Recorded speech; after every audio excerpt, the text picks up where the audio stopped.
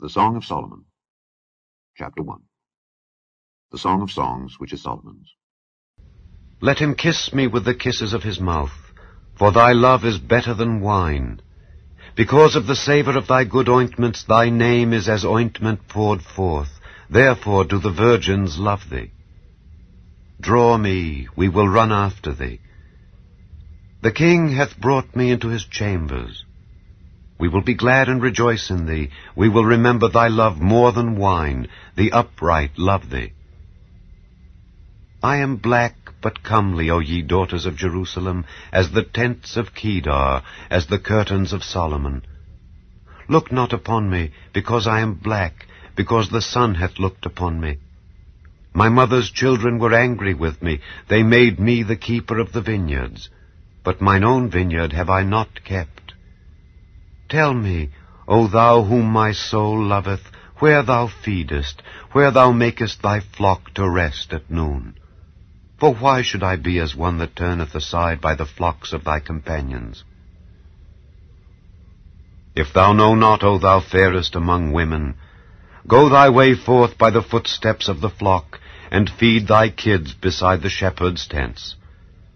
I have compared thee, O my love, to a company of horses in Pharaoh's chariots. Thy cheeks are comely with rows of jewels, thy neck with chains of gold.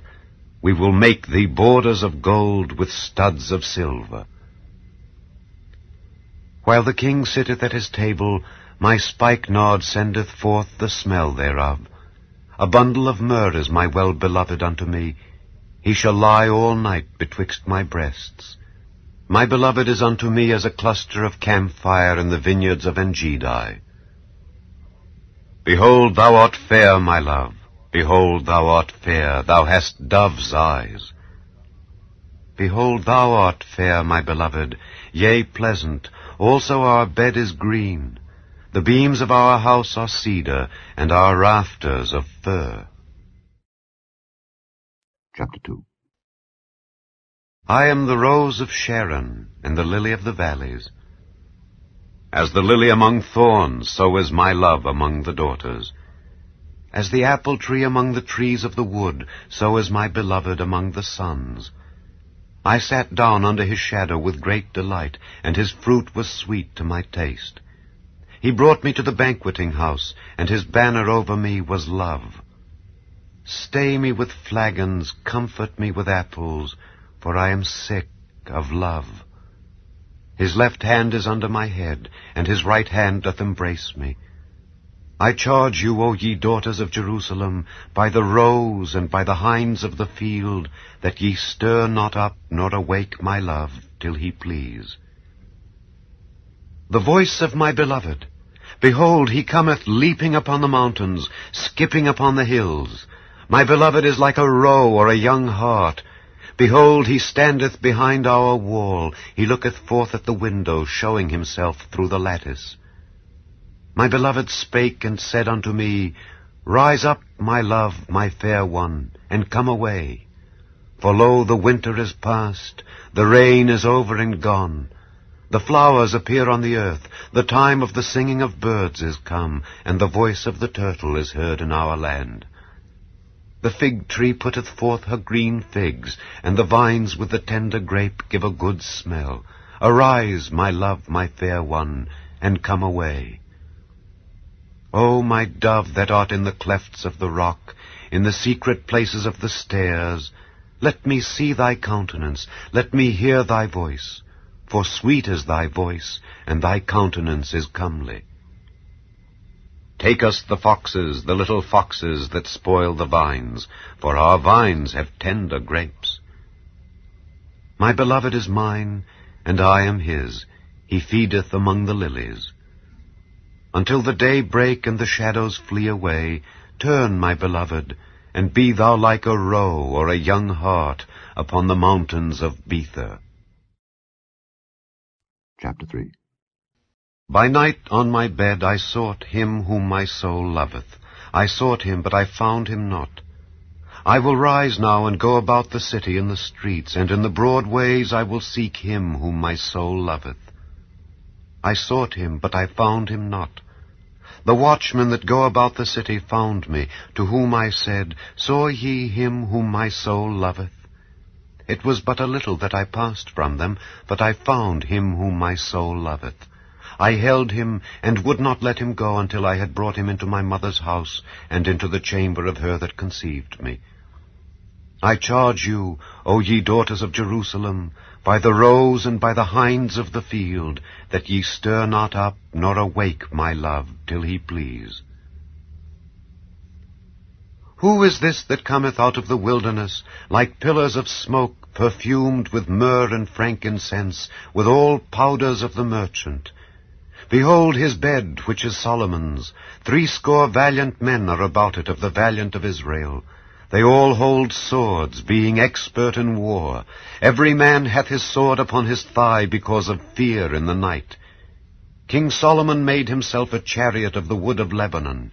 He made the pillars thereof of silver, the bottom thereof of gold, the covering of it of purple, the midst thereof being paved with love for the daughters of Jerusalem.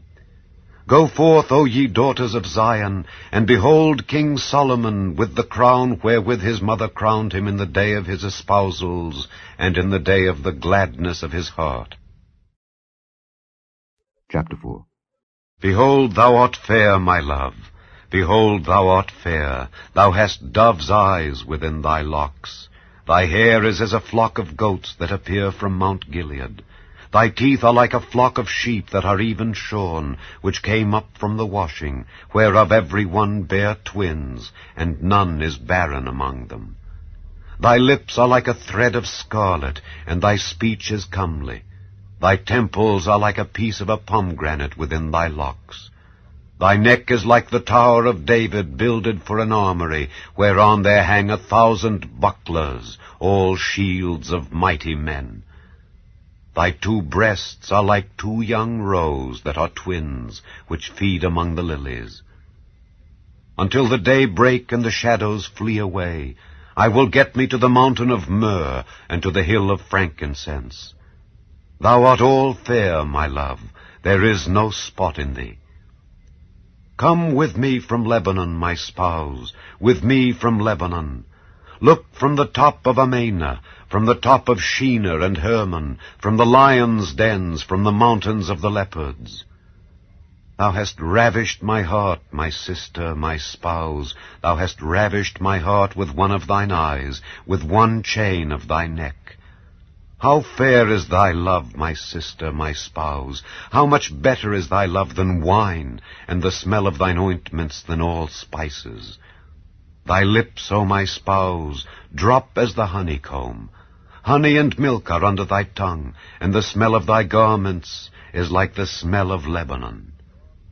A garden enclosed is my sister, my spouse, a spring shut up, a fountain sealed. Thy plants are an orchard of pomegranates with pleasant fruits camphire with spikenard, spikenard and saffron, calamus and cinnamon with all trees of frankincense, myrrh and aloes with all the chief spices, a fountain of gardens, a well of living waters, and streams from Lebanon. Awake, O north wind, and come thou south, blow upon my garden, that the spices thereof may flow out. Let my beloved come into his garden and eat his pleasant fruits.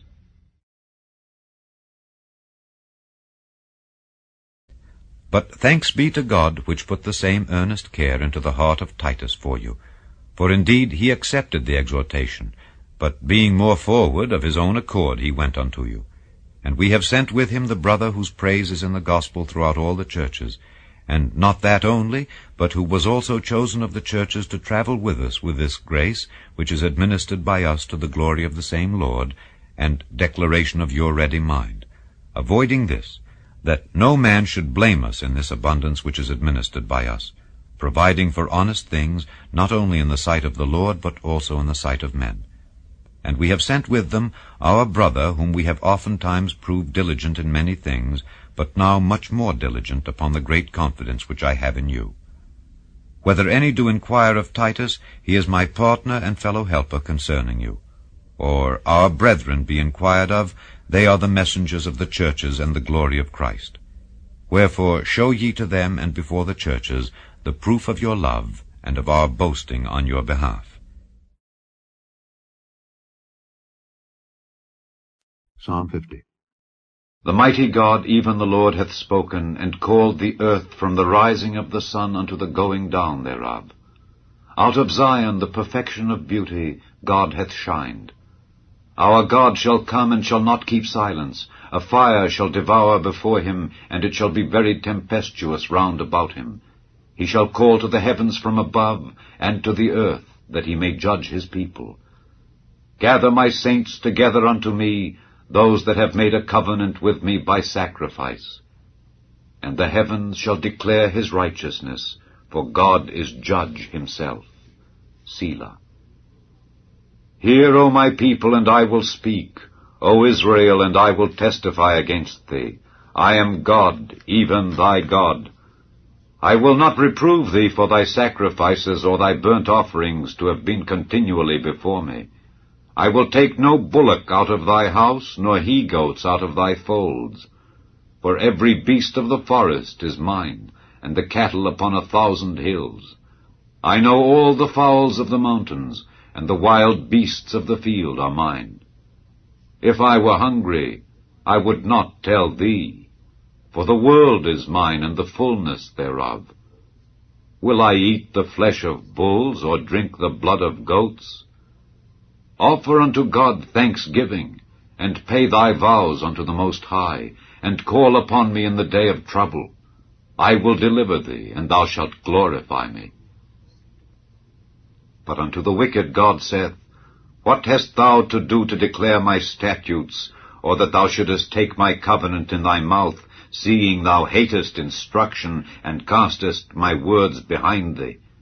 When thou sawest a thief, then thou consentedst with him, and hast been partaker with adulterers. Thou givest thy mouth to evil, and thy tongue frameth deceit. Thou sittest and speakest against thy brother. Thou slanderest thine own mother's son. These things hast thou done, and I kept silence. Thou thoughtest that I was altogether such an one as thyself. But I will reprove thee, and set them in order before thine eyes. Now consider this, ye that forget God, lest I tear you in pieces, and there be none to deliver.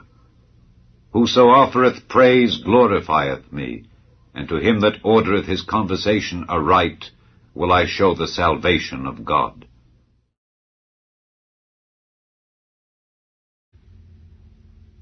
Rob not the poor because he is poor, neither oppress the afflicted in the gate.